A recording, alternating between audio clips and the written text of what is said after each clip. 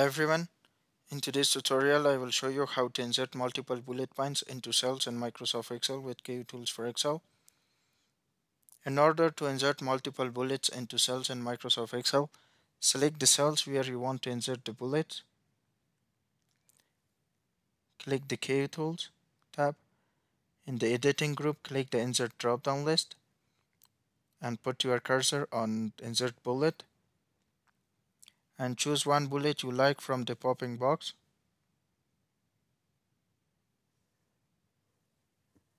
And then the specific bullet has been inserted into cells at once as you can see.